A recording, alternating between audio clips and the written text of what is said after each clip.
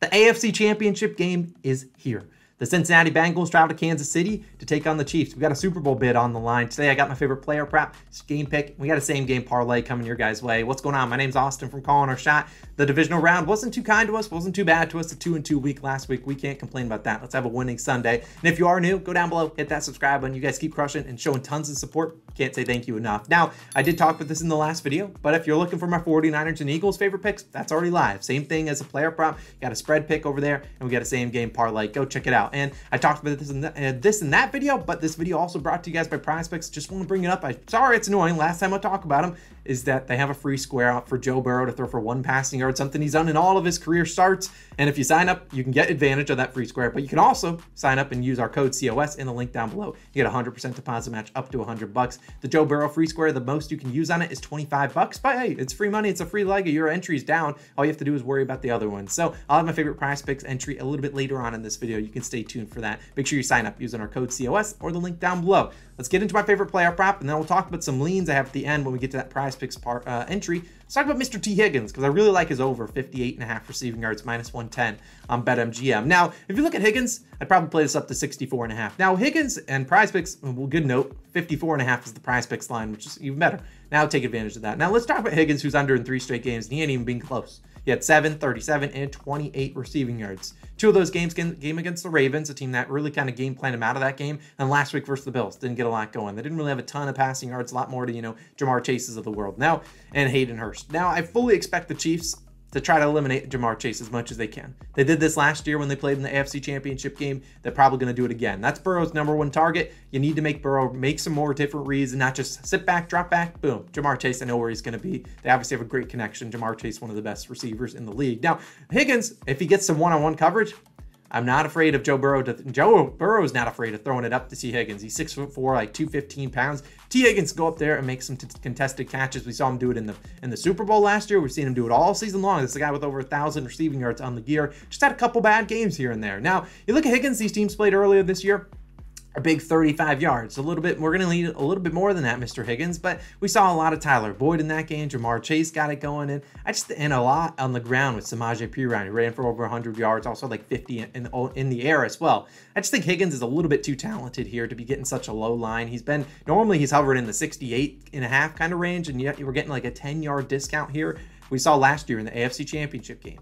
The Bengals they have threw it a lot to Tee Higgins, had over 100 yards in that game. So I think Higgins going to step up here at 103 yards last year. Only Chase at 54. I think we see a similar game plan. This should be a close game. I don't think the Bengals will be running away with it, and they won't have to throw it like they did all of last week against the Bills. They didn't have to throw it in the fourth quarter. I don't even think Joe Burrow had a pass completion in the last 10 minutes. So I think we're going to see a guy like Higgins step up here, big time game. Think he goes over this. He could obviously hit this over in just one play. We've seen Higgins do that before. And if he gets any man on man coverage, look, Bur- Burrow is not afraid to take a chance on his guy. He knows Tee Higgins is going to win a large majority of those. One of the best receivers in the league. Just had a couple bad games here and there. I think Tee Higgins shows up on Sunday. Give me his over 58 and a half receiving yards. Now, let's go move on to my game pick. And I talked about this in the last video. Regardless of who I pick here, someone's going to be upset, and that's just the nature of these videos. But I'm going to go with the Chiefs on the money line, minus 110 on DraftKings. And let me talk about it why. And maybe Bengals fans, you don't have to be so upset because I bet against the Bengals last week and I lost.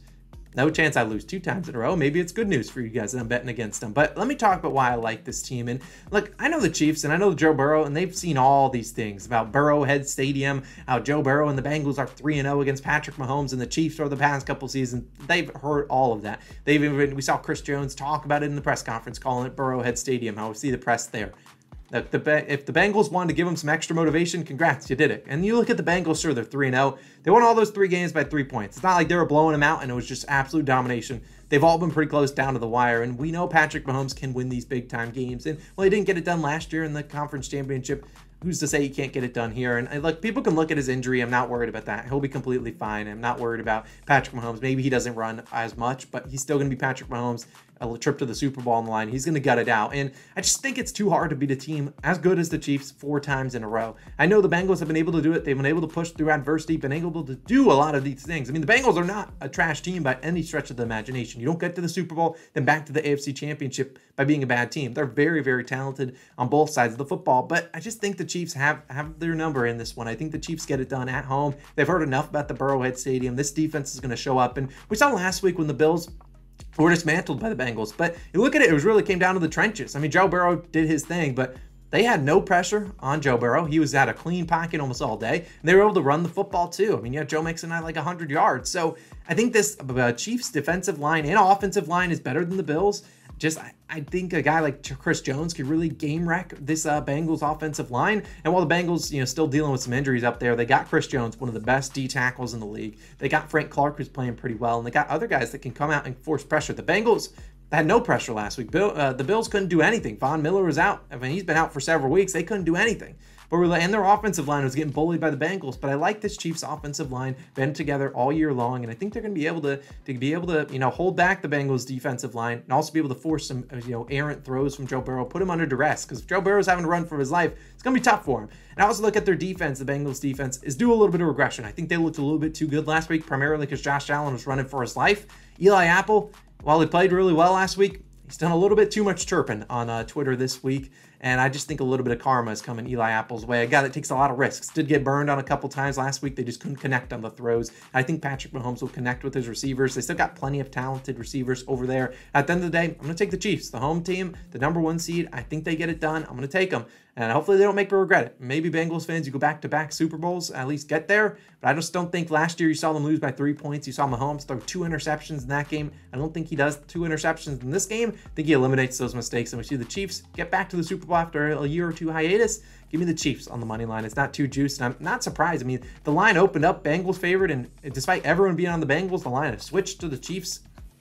I want to take the Chiefs. Give them to me. You can obviously do take whoever you want. It's your decision. Now, of course, it's time for my same game parlay, and this we're going to use a PrizePicks entry, and we're going to use that Burrow free square that I talked about. So my first leg, our first uh, leg, we're going to have Joe Burrow more than 0.5 pass yards. I think you can certainly get that. And of course, a reminder, you can get advantage of that free square. Max bet is like 25 bucks combined across multiple different parlays if that's how you want to do it. And of course, make sure you use code COS or that link down below in the description for that 100% deposit match. But obviously, Joe Burrow, he's going to get that. Let's talk with the other guys. Tee Higgins is somewhere in there. we already talked about him. Jerick McKinnon and Juju Smith-Schuster. I haven't talked about either of these two guys, but Jerick McKinnon last week took his under for rushing yards, and he ruined some people on the hook, but he cashed out for us on the hook, and I just think they're going to give it to him a lot here. I think this is a big Jerick McKinnon game. They played earlier this year. We saw Jerick McKinnon have like eight carries for 51 yards, and McKinnon's going to get his work here, and I think he's the better guy in this spot for uh, instead of Isaiah Pacheco, who still might get his touches, but McKinnon got enough touches last week to get it done. They got his rushing attempts line juiced to the moon at like seven and a half. And if he gets, you know, eight touches,